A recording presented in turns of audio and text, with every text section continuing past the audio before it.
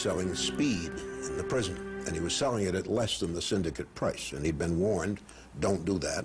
And uh, Albert didn't take orders from anybody, and this time they killed him. He was killed over two pounds of institution bacon.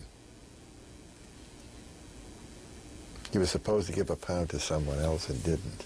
The case of Albert DeSalvo's murder remains open, and so do the Boston Stranglings. Despite widespread public certainty that DeSalvo was the strangler, some of those familiar with the case have lingering questions. Everyone wanted the Boston Strangler off the street.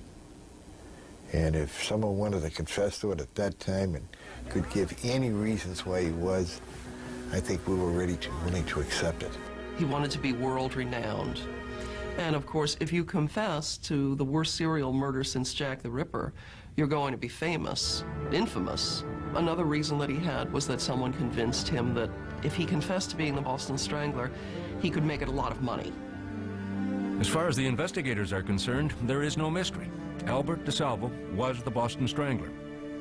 I've been asked many, many times over the years if I really thought that Albert DeSalvo was the strangler.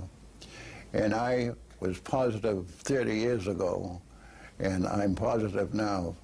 Albert DeSalvo never published the book that he thought would make him a rich man. But shortly before his death, he did write a poem and gave it to his lawyer, Tom Troy. Here's a story, The Strangler, yet untold. The man who claims he strangled 13 women, young and old.